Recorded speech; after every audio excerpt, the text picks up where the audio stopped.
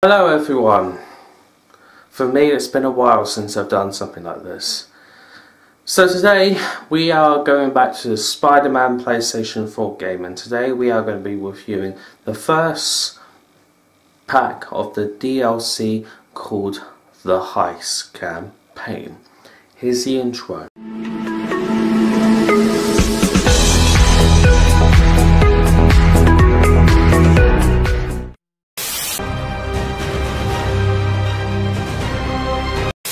Set after the events from the main game.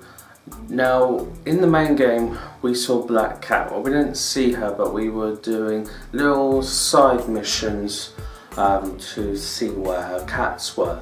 Well, in this one, she appears, she does. Now, overall, in the campaign bits, you are, I'm guessing, working with her until she betrays you, until she, till you find out that she's in trouble and you go and rescue her. And then the ending tells you that she died by an explosion, but many people have theorized that maybe, just maybe, she is alive. But it'll be interesting to see how this actually goes out. But what does this campaign actually well, this campaign not just has a really good um, story, doesn't disappoint at all, it has three new suits. You can get these suits by completing some of the campaign to one of them being I think you have to get um, the DLC heist to 100% which, which to be honest should be easy.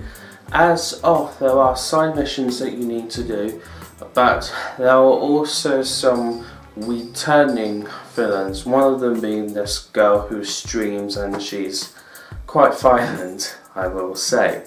Now, overall, what do I think about it? Well, the heist is very good. I understand that many people were disappointed about superpowers, the fact that there were not none any in here, and the fact that there won't be any through the next two months. For me, it's not a big deal. I quite like stories, one of the things I'm here for. The heist gets a 9 out of 10. Thank you guys so much for watching and I will see you next time. Peace guys, see ya.